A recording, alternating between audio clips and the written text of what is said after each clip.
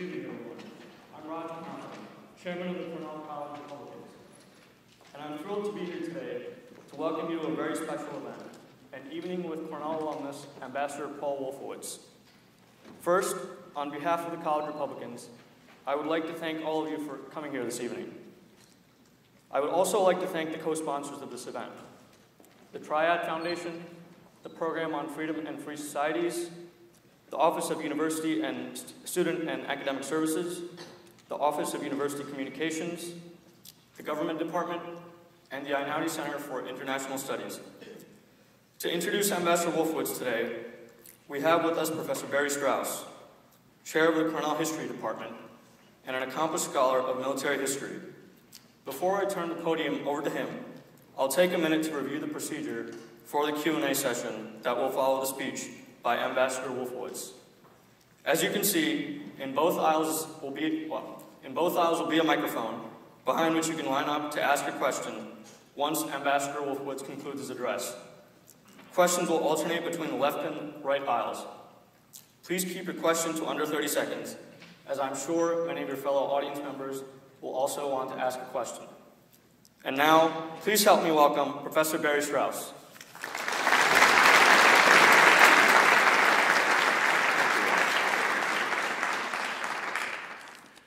Thank you. Well, it's a great honor to uh, be able to introduce the ambassador here tonight.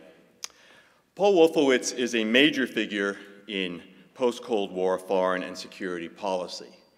His has been a long-standing quest to promote democracy using American strategic national security and geopolitical interests. And he's been an intellectual force in post-9-11 U.S. foreign policy in the Middle East, both in war and peace. The ambassador has spent 24 years in government service under seven different presidents. He was ambassador to Indonesia, the fourth most populous nation in the world. He served in a number of positions in the Department of Defense, most recently as Deputy Secretary of Defense. He was president of the World Bank, in which position he paid special attention to the problems of sub Saharan Africa and to combating the culture of corruption around the world. He is currently chairman of the Secretary of State's International Security Advisory Board and is a visiting scholar at the American Enterprise Institute. Ambassador Wolfowitz seems to me to combine idealism with realism. That's his hallmark. And let me just read a very brief uh, selection from a recent op-ed of his published in the Wall Street Journal last month that I believe illustrates this. It's called The Case for Arming the Syrian Opposition. It says, moral support is important. Recognition by the world, and particularly the leading democracies, of the heroism of the Syrian people can encourage them to continue their struggle in the face of overwhelming odds. But moral and political support are no substitute for material support. The promise of material assistance including financial assistance, might persuade the opposition to unite behind a coherent political program. Last but not least, Ambassador Wolfowitz is a native of Ithaca and a graduate of Cornell in the class of 1965. He majored in math and then went on to the University of Chicago, where he achieved a PhD in political science. And he has taught at Yale and at uh, School of Advanced International Studies at Johns Hopkins. He'll speak to us tonight on the subject Is the Era of American Leadership Over? Please join me in welcoming back to Cornell Ambassador Paul Wolfowitz.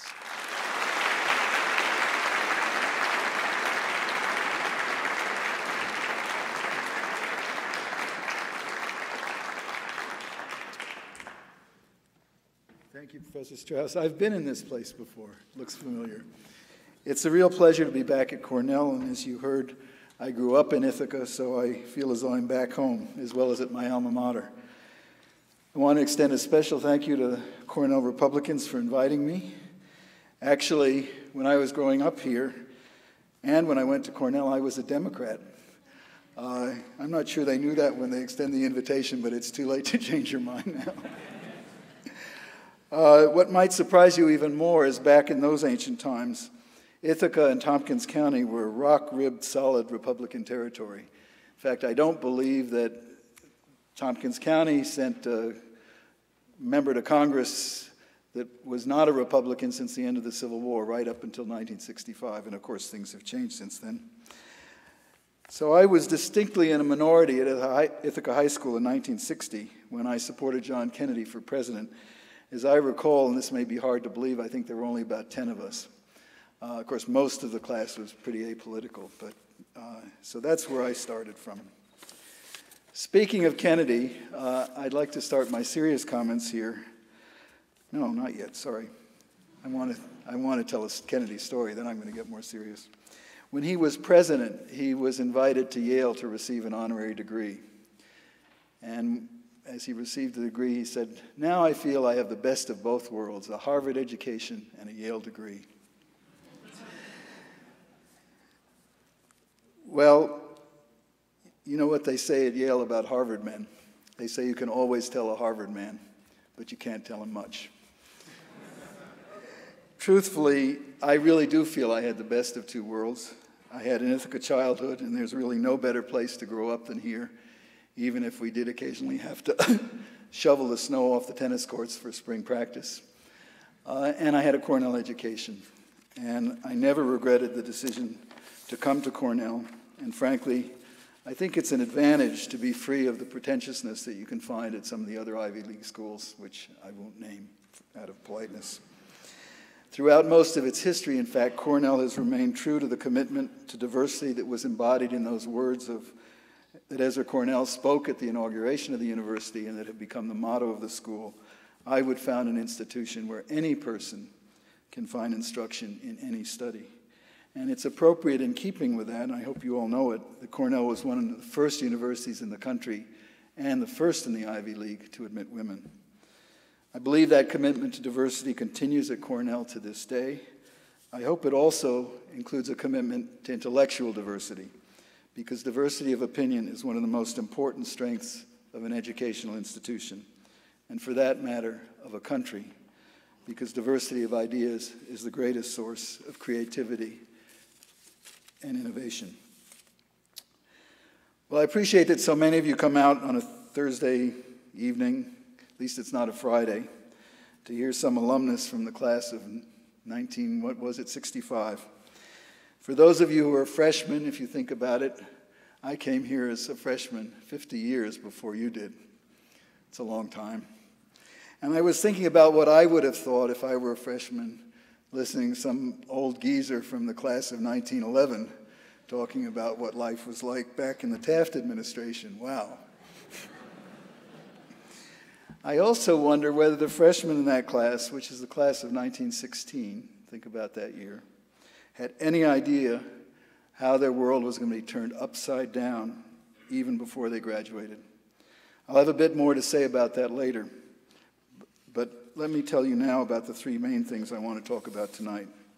First, about some dramatic positive changes that have characterized the world in the last 50 years, and particularly in the last three decades.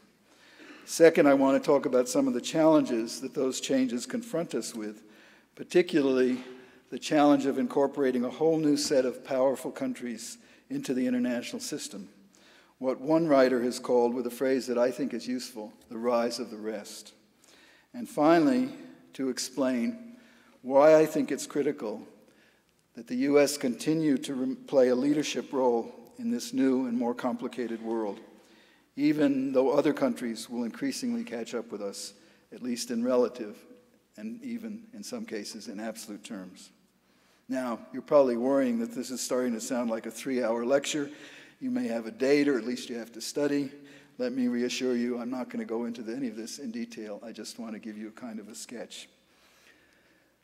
I'm told that exhaustive scientific studies have demonstrated that the attention span of the average college student is about 27 minutes.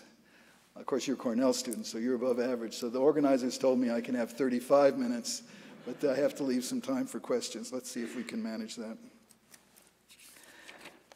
This coming October, now is the serious Kennedy part, marks the 50th anniversary of an event that I still remember clearly from my sophomore year at Cornell.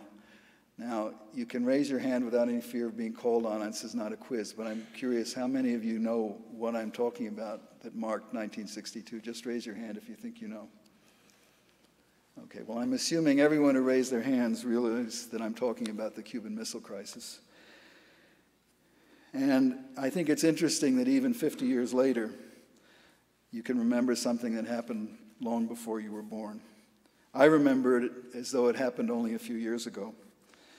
On October 22, 1962, President Kennedy announced to the nation that the Soviet Union had deployed offensive nuclear missiles in Cuba and that the U.S. was establishing a blockade, although we diplomatically called it a quarantine, of Cuba and demanding that the Soviets withdraw their missiles. It's no exaggeration to say that for almost a week, we all lived in fear that there might be a nuclear war that we might not see the next month. It was a fear that only abated six days later, on October 28th, when the Soviet leader, Nikita Khrushchev, announced that they were dismantling and withdrawing all of their missiles from Cuba. That was the most dramatic, but not the only time, when US Soviet confrontation raised the possibility that civilization as we knew it might be destroyed in a nuclear exchange. Today, the Cold War is over and the Soviet Union is gone. It's true that the US and Russia still have the appalling capability to destroy one another, but it is most unlikely that we would have the kind of confrontation that would lead to that. Still far from a perfect situation, but it's such a vast improvement over the world of just 30 years ago, not to mention my time here as a sophomore. So there has been some progress. There's also been great progress in the last 30 years in the expansion of freedom and democracy in the world. In 1981, the think tank in Washington, Freedom House, which ranks these things, counted on roughly 50 countries in the world as free. By last year, that number had almost doubled to roughly 90. And as a percentage of countries in the world, it had gone from roughly a third to roughly half.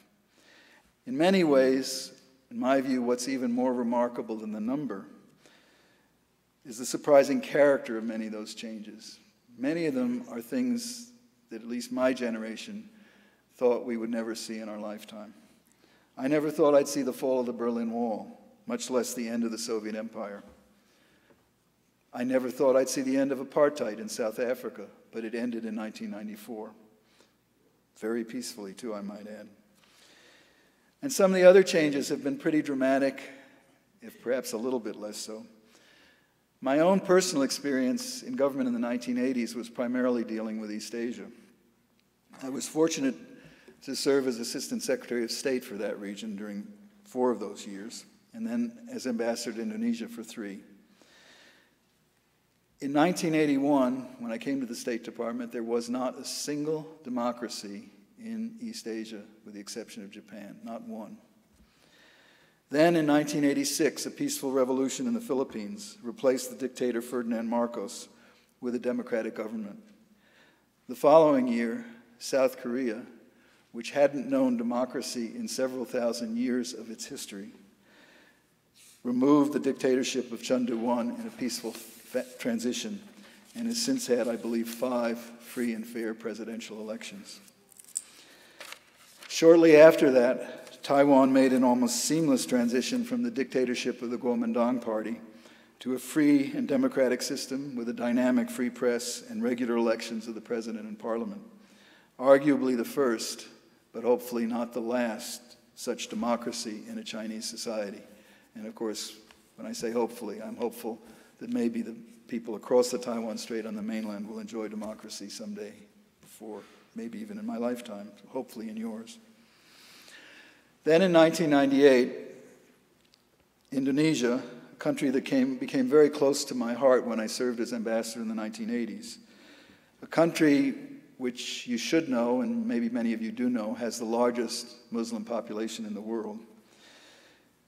In Indonesia, the dictator Suharto was forced to step down by massive student demonstrations and by his own military. Through 50 years of independence, Indonesia had been ruled by just two people, two dictators. First Suharto, then Sukarno. Names are similar. People were different. the rule was dictatorship throughout. And many people, after the collapse of the Suharto regime, said that Indonesia was too poor and too Muslim to manage democracy. By the way, speaking of poor, now they started poor, and in 1998, with the Asian financial collapse, the Indonesian economy dropped by 14% in real terms. So they were starting in a real hole. But now, almost 15 years later, that country has become the world's third largest democracy, with a thriving press and civil society and three successive free and fair presidential elections, just to mention a few of the features that make it, I think, a success story. And by the way, an economy that is growing not as fast as China's, but still impressively. 30 years ago, much of Latin America was ruled by military dictators, and now most of Latin America are democracies. And in Africa as well, although late, a number of African countries are becoming democracies, and I think increasingly we will see that trend there. In many ways, as I said, the quality of these changes is even more remarkable than the quantity. I think particularly of those countries that had no prior history of democracy, where people sometimes said that in fact their cultures were incompatible with democracy. For example, there was the famous Confucian exception. The notion that Confucian cultures are inherently authoritarian, that there is too much, so much respect for authority that people actually want to be ruled by a strong person. That so called Asian values in those societies are antithetical to Western democratic values. Well, South Korea is a Confucian society, Taiwan is a Confucian society, so there goes that exception. And now we may be witnessing the end of what some people call the Arab exception, with the upheaval that is sweeping the Arab world. People called it the Arab Spring because of the time of year. It was a bit premature and a bit too hopeful. But I think now people are verging in the opposite direction of premature pessimism and talking about an Islamist winter. It's much too soon to know how all of that is going to end. If you think about it, it was 20 years ago more when the Berlin Wall came down, and we're still seeing changes taking place in Central Europe and Eastern Europe and the Soviet, former Soviet Union. So it'll be many years before we know the true results of the present upheaval there. But the U.S. has a large stake in the outcome, and we need to remain engaged. And as I'll mention later, I'm not sure that we are. This enormous advance of freedom in the last 30 years has been good for the tens of millions of people whose lives have been improved directly as a result. But it's also been good for the United States because it's turned enemies into friends and has made our friends stronger and more self reliant. And I would add something else, too. Where the United States has been seen to be on the side of freedom, and unfortunately that hasn't always been the case, but where we have, it has greatly improved our standing in the eyes of the people of those countries. Take a recent example, which is Libya. The Assistant Secretary of State for the Near East, an expert on the Arab world named Jeffrey Feltman, visited Benghazi about a month after the U.S. intervention that saved that city from Gaddafi's forces. He said, Never in all my years in the Arab world was I ever mobbed by grateful people, pro American people, enthusiastic to meet me as I was then. And today in Tripoli, if you, you can see this, if you Google it, there is a big billboard somewhere on a long road that says, Thank you all. And it has flags of about 10 countries, including our own, and right in the middle, the flag of NATO. That's good for us as well as the Libyans. A third area of remarkable progress in the last 30 years has been in the economic sphere. And this is in many ways the change that also has led to this talk about the rise of the rest. As recently as the early 1980s, there was enormous pessimism about the prospects of the developing world. So much so that people spoke about the north south divide that's what it was called then. You don't hear that term too much anymore. Was as though it would be a permanent feature of the international system, that poor countries would remain permanently poor, and the benefits of economic growth and globalization would only accrue to the relatively wealthy countries, mostly the Anglo Saxon countries, Europe, and Japan. Today, that term North South relations has practically gone out of fashion. Even the term developing countries isn't used quite so much as that new term emerging markets. In the last two decades, the global economy has roughly tripled from around 20 trillion 20 years ago to roughly 60 trillion today. Emerging markets, formerly developing countries, have accounted for roughly half of that growth. More importantly, in my opinion, that growth has enabled hundreds of millions of people in poor countries to escape poverty. Just in China alone, the number is 400 million. On the whole, that has been good for the United States as well. American consumers have benefited from the expansion of global trade, and American producers have benefited from the expansion of global markets.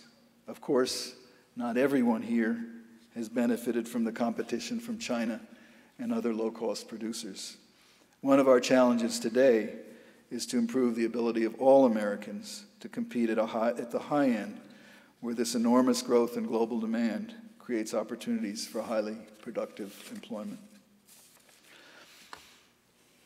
All three of those achievements would not have been possible without American leadership. American leadership in sustaining the Western alliance through the Cold War, American leadership in supporting democratic change in many places around the world, and American leadership in maintaining a relatively open global trading system that was the key engine of growth for so many of these countries and indeed continues to be today. That's why Robert Kagan, uh, son of a great Cornell professor named Donald Kagan, who I think was actually Professor Strauss's professor, several generations of historians in that family, at least two so far. Anyway, Robert Kagan, sorry, has an interesting new book called The World America Made. And he puts it that way because of what I've just said. Now, it may sound a little bit hubristic or boastful. We didn't make that world. The whole millions and millions of other people made the world. Ronald Reagan, President Reagan, had a sign on his desk, which I thought is a wonderful sign. He said, There's no limit to what a person can accomplish as long as they don't care who gets the credit.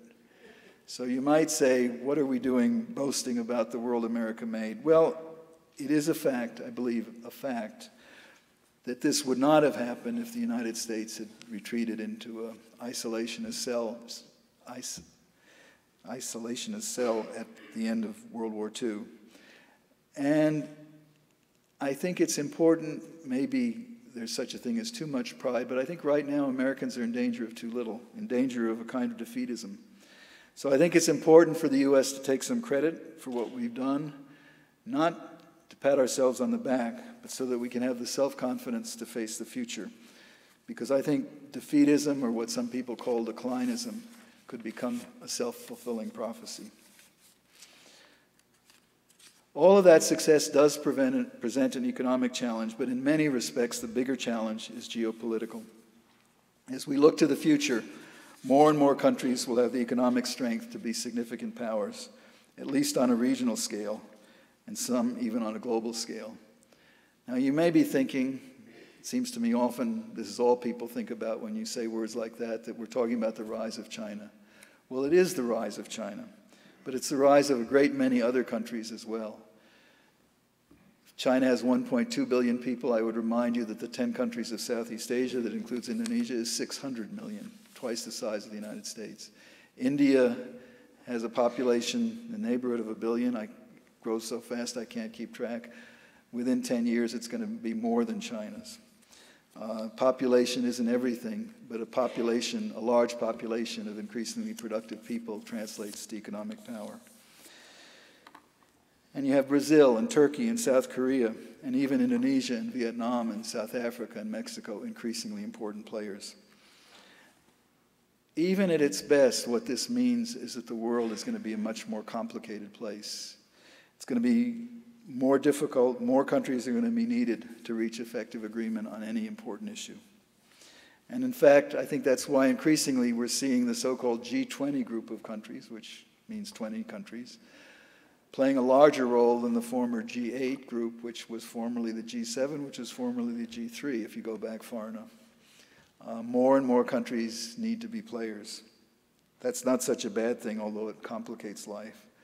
What is a bad thing, what is the worst possible outcome, is it does increase the possibility of conflict and even of war. Which brings me to my third and final point why I think American leadership is so important. I know that some people say the U.S. can no longer afford to play a leadership role in the world, and I agree with them in one important respect. We won't be able to afford that, play that role if we can't fix our economy, if we can't get it growing again, if we can't restore the dynamism and innovation that have characterized us so often historically. But by the way, this isn't the first time that we were pessimistic about our economy, and I hope it won't be the first time that we fail to recover.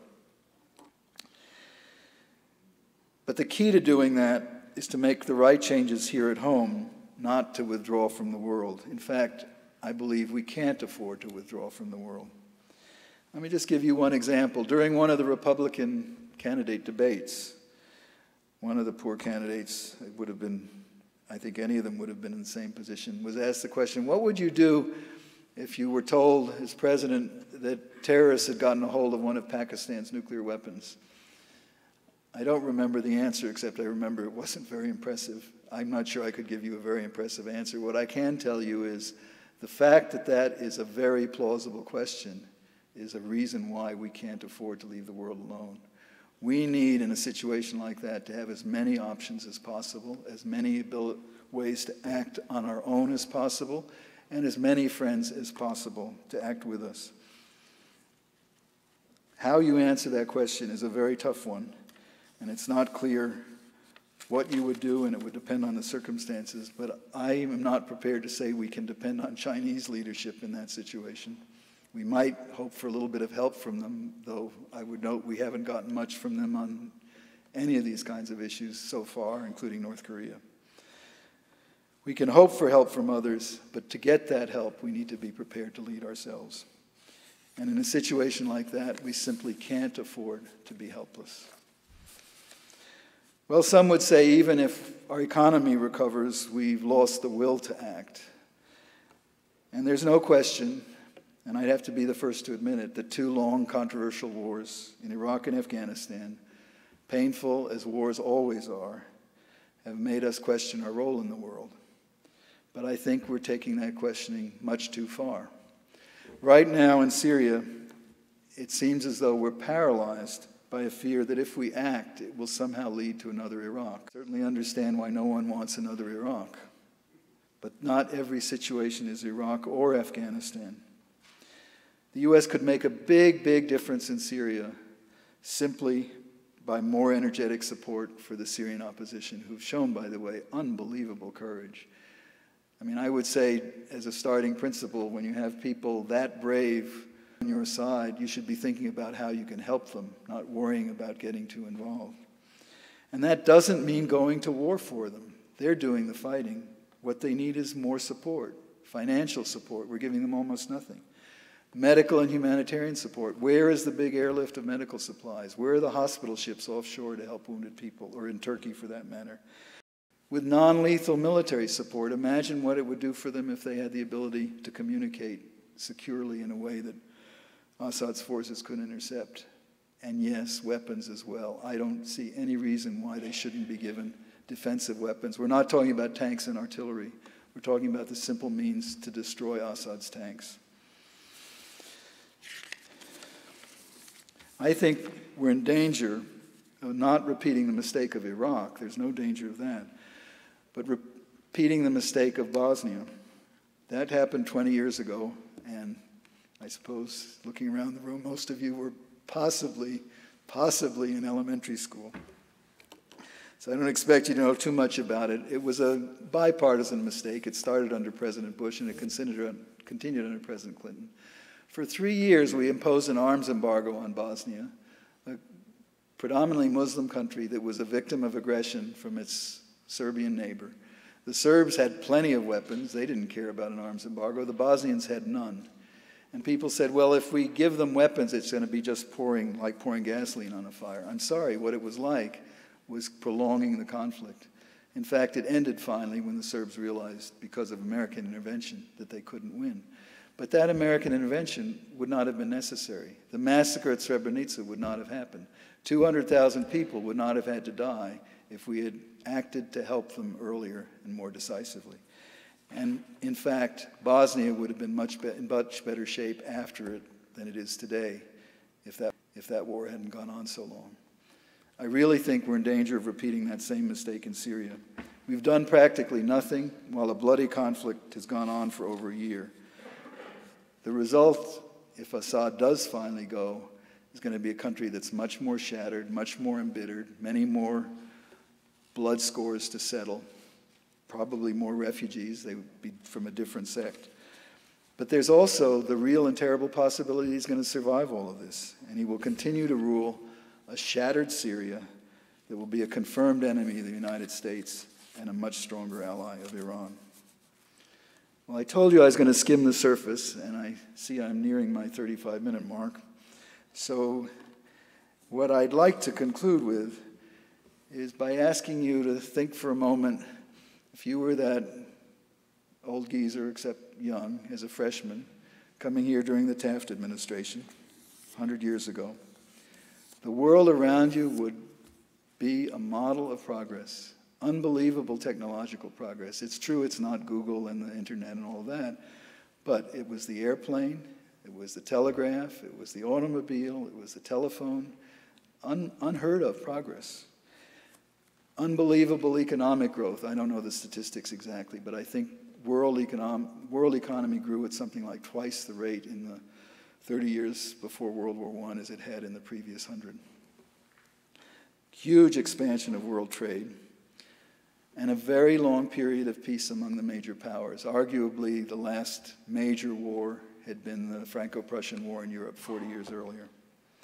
Some people even thought that war was obsolete, that modern economics meant that people would realize it just wasn't worth it to fight. There was a journalist named Norman Angell who wrote a book called The Great Illusion, and the illusion that he meant was the illusion that war pays. And he thought that he had demonstrated successfully that war couldn't pay. He had to pay to get the first edition out, 5,000 copies, and it took off like wildfire. I think it sold 7 million, which at that time was unheard of. Well, it might have been nice, except in 1914, a crisis that started in the Balkans, of all places, got out of hand, and before you knew it, you had World War I, which was, up until that time, the bloodiest war in history. It was a catastrophe all by itself, destroyed whole generations of Europeans, and I think 200,000 Americans were killed, although we entered that war late. But the catastrophe didn't end with World War I. World War I helped to produce Bolshevism and communism in what became the Soviet Union, which was a tragedy by itself. It helped to produce fascism in Germany and Italy, which were also tragedies by themselves. Maoism in China, which was maybe 70 million people died as a result. And then, of course, World War II, which made World War I no longer the bloodiest war in history. And when we got through all of that, we still had the Cold War and the Cuban Missile Crisis and all of the things that led to that. So the 20th century, which started out with such great promise, ended up as the bloodiest century in history. We cannot afford to do that a second time. If it happens in this century, it's I, I don't want to imagine what it would be like, but it doesn't have to happen. I think an important part of preventing it from happening is for the U.S. to remain engaged, actively engaged. There's no magic formula for what you do in particular situations. But one thing I can say for sure if you say it's none of our business, let the world take care of itself, it's not going to take care of itself well. We may not be perfect, we may make mistakes, but I think the chances are better if we remain involved. So I hope that the, our present generation of leaders and your generation as you become leaders will have the wisdom to see that our best chance to preserve a peaceful and prosperous world is for the U.S. to stay engaged, to remain a leader, not necessarily the dominant power, but still, I think, the essential and perhaps in many ways the most important power. Thank you very much.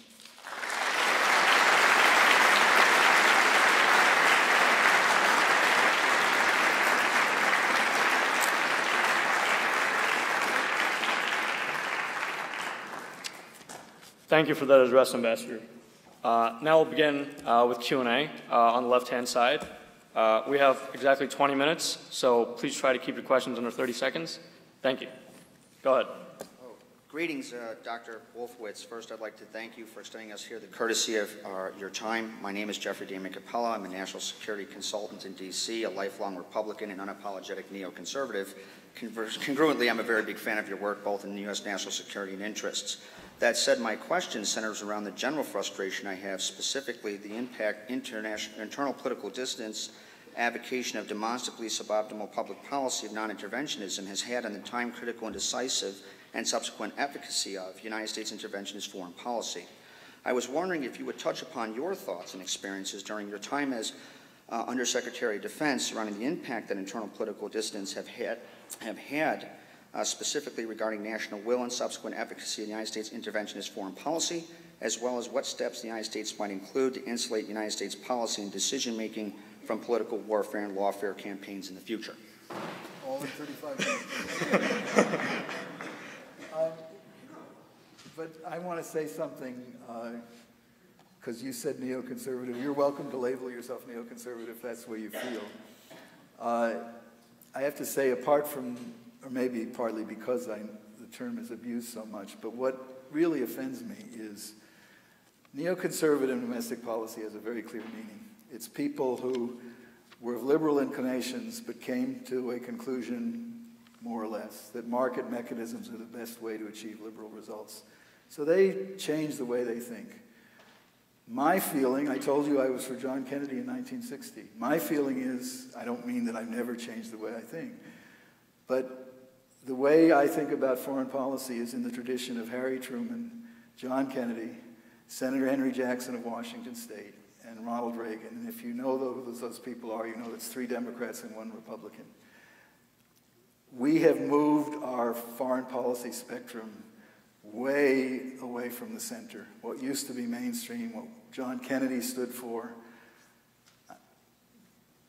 I don't like these slogans, but peace through strength and promoting democracy uh, isn't some crazy neoconservative notion. So, anyway, it's important to say that, not to correct you.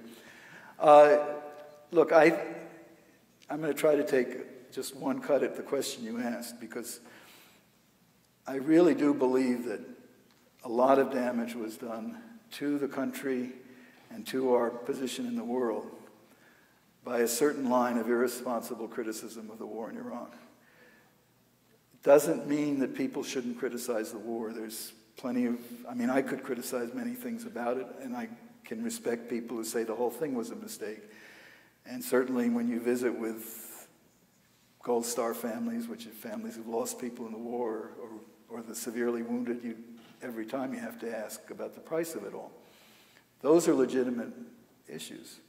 But I think enormous damage was done by a completely false argument, the notion that President Bush lied. And many of the politicians who make that argument, and I won't name names, but they're still in important positions, they're prominent senators, believed exactly the same intelligence. They know what the intelligence said, they know it wasn't a matter of lying. They can say it was a mistake, they can try to figure out. But to say that the President of the United States took an action like that, knowing that it was based on an untruth, is itself profoundly untrue. And I guess one lesson I take from that is that when I talk about President Obama, you may have noticed I didn't use his name, but I said, good work in Libya, bad work in Syria. I'm not trying to question his patriotism or his motives. I'm trying to judge his actions on their merits. And I think the more we can try to stick to that high ground, there's plenty of room to argue and debate, and you can even feel very passionate about it, but just try to stay honest. Go ahead, on the right-hand side. Dr. Wolfowitz, um, the, the main, I guess, um, conflict that is now uh, capturing much of the concern of the American public is the tension between Iran and uh, Israel.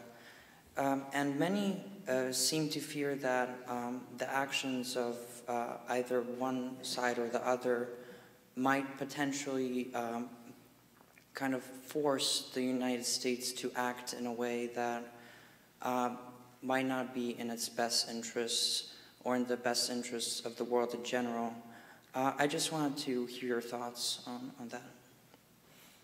Um, I, I would agree with an unstated premise of your question, which is of all the things to worry about this year, I mean, maybe, maybe Pakistani nuclear weapon will fall in the wrong hands, but the more immediate concern is the one you raise, and it has enormous implications. Uh, I would say, first of all, by the way, I think it's important to understand this. It's not just between Israel and Iran, although Israel is the one country that seems to be contemplating military action. But it's now an open secret that the Saudis asked the U.S. a couple of years ago to take action against Iran. And I've friends of mine who've been in meetings with uh, congressional delegations traveling through the region say that the country most concerned about Iranian nuclear weapons is Saudi Arabia. The second most concerned are the United Arab Emirates, and the Israelis are actually a kind of distant third. But it's true, the Israelis are the ones who may have some capability militarily to do something about it. I have to tell you honestly, for a long time I was skeptical that they could do anything. Uh, they do have a way of surprising you, and it turns out maybe they even have bases in Azerbaijan right on the Iranian border. I no longer am skeptical about their ability to do something. I don't know what that something is. I think the most they could do is delay an Iranian program. Delay for two years, delay for six years, delay for 10 years. It makes a big difference for how long. So much so, I mean, it depends so much on facts that in Israel itself, you have the former head of Israeli intelligence, the Mossad, publicly saying Israel should not act militarily, that the costs of military action are not worth the potential gains. Uh, it is reported, though he's not as public about this, that the defense minister, Ehud Barak, who used to be the commander Israeli armed forces. In fact, I dealt with him very closely during the first Persian Gulf War. He's a very smart man, that he is in favor of action. I don't know the facts, and none of us, unfortunately, can predict what will happen. And in, in your question is, I think, a legitimate concern that this could blow up into something quite large. Not necessarily. Remember, what was it? I guess five years ago, Israel bombed a secret illegal nuclear reactor that the North Koreans had built for the Syrians in Syria. There was no reaction from Syria. In fact, they didn't even admit it for several months. So we don't know what the reaction will be, but that doesn't mean we can assume that it's going to be as mild as Syria.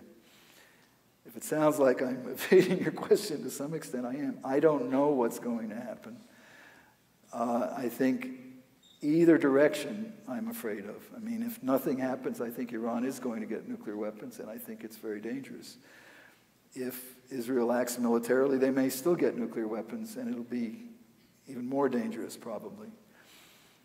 What I really do believe, so I don't know what the answer would be if I were an Israeli or if, I were an American president asked to do it for the U.S., do it on its own.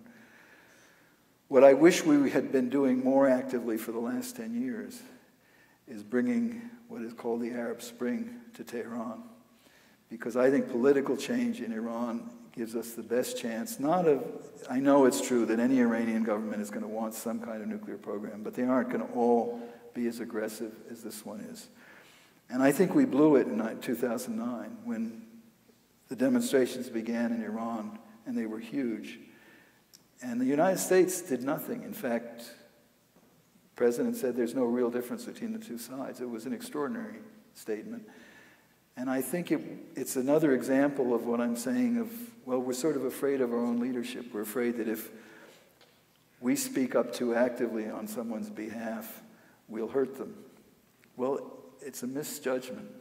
And I just conclude, I'm a bit far from your Iran question, but it, I mean, these events of the last year, I think, have shown that even many Arabs who don't like American policies and may even not like the United States all that much, still like the kind of political system we have and would like it for themselves. And when President Obama spoke in Cairo in June, just before the outbreak in Tehran, spoke at Cairo University, he said, I want to talk about seven subjects. Uh, He probably did it in less than 35 minutes. Anyway, seven subjects.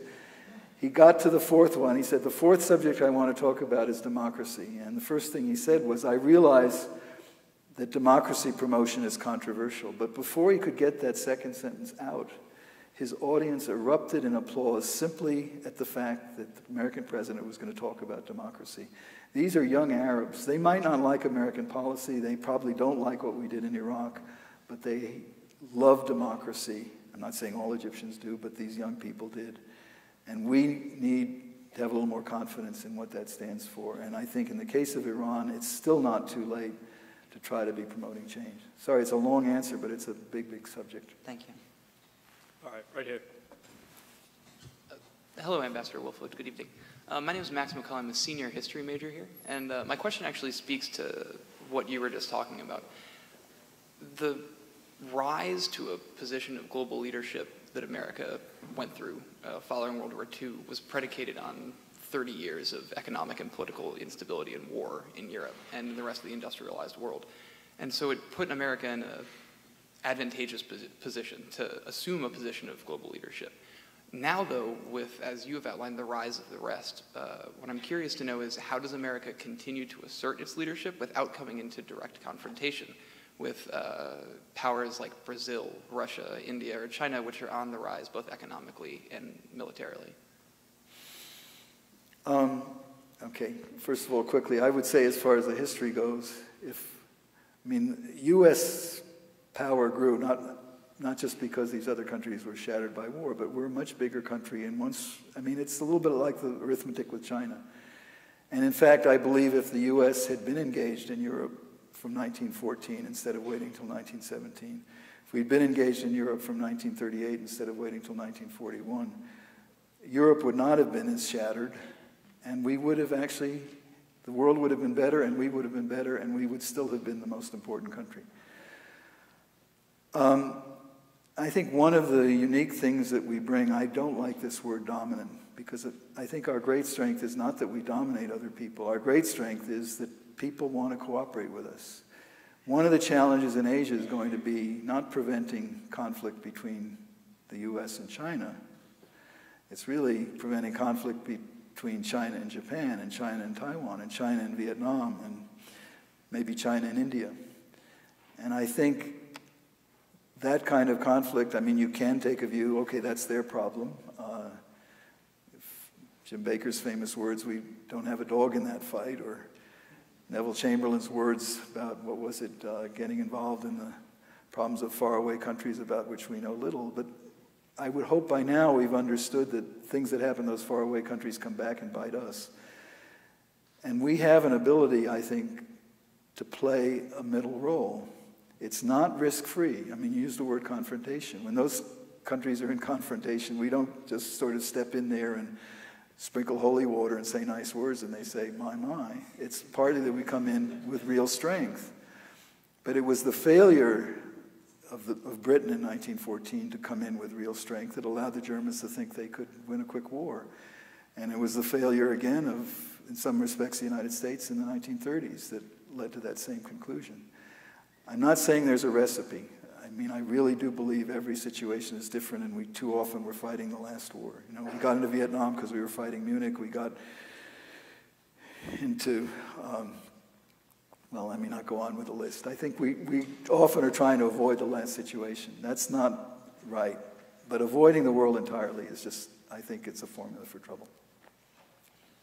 I just want to make one quick warning before we continue. Uh, Unfortunately, we have only time for one more question, so go ahead. My name is Ben. I'm a high school student, and my question for you is do you think that the leading from behind strategy in Libya is a could be a template for future wars and could be our future US strategy rather than going in unilaterally or virtually unilaterally? Um, by the way, no one admits to using the word leading from behind, although someone obviously did. But, I mean, I, uh, I think we kind of did that in Libya, and I think it was a mistake. Not 100% a mistake. I mean, I, I do think it's a good strategic principle to get other people to do as much as possible. And it's often the case that if they think you're going to take over and do everything for them, then they won't do anything. But I think we just tilted that one too far in the wrong direction. And in particular, what troubles me is that when it came to direct support for the Libyan revolutionaries, I think they call themselves, or freedom fighters, opposition, whatever word you want to use, they had to turn to this little mini state in the Persian Gulf called Qatar for their weapons.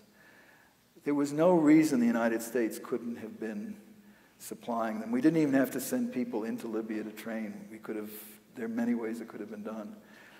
Well, the Qataris are not, look, they're not the worst people in the world, but they are, in some ways, Islamists of a pretty bad kind, up there with the Saudis.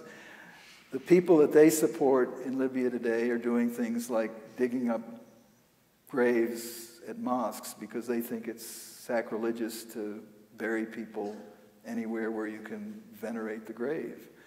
Uh, they tried to destroy a statue in, in downtown Tripoli because it offended their religious aesthetic sense. It's like the people who blew up the famous Buddhas in Afghanistan and Bamyan.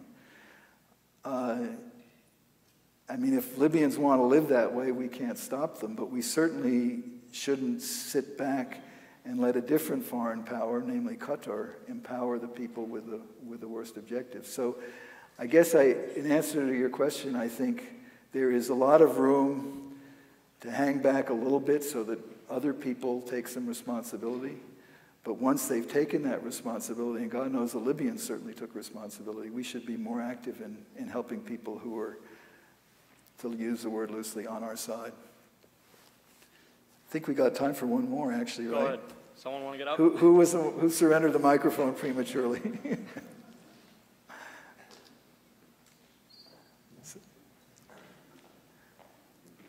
Ambassador. Uh, my name is Ankur Bajaj, junior chemistry and economics double major. Um, so my question centers around, I guess, the role of subnational actors or sub-state actors, I guess how the world is progressing given globalization. How do you feel the American leadership in calculus shifts given this change? Um, I think it, I, I'm always a little suspicious of people who say something is brand new and has never been seen before. And Professor Strauss studies ancient history and would probably be even more upset when people say that. But I do think there's something going on here with the way in which technology empowers even very small non-state actors for good and for ill.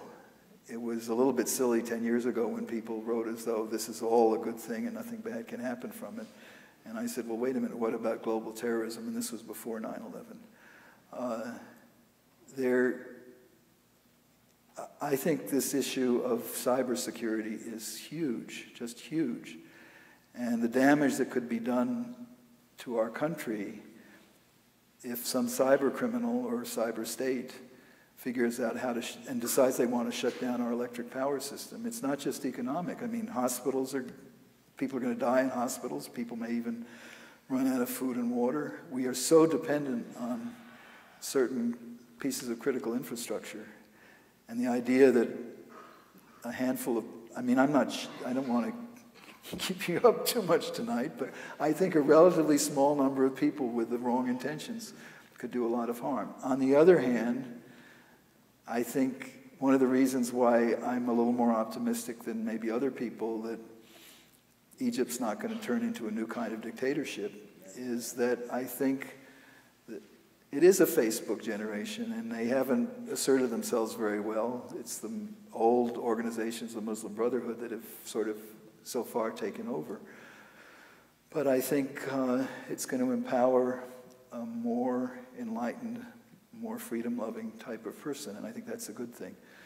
But you know, it's, I think, true of almost all technology. It's an instrument, and in the right hands, technology is good, and in the wrong hands, it's bad, and we shouldn't think that this new technology is somehow automatically going to take us better or worse, but it does create some new opportunities, new challenges.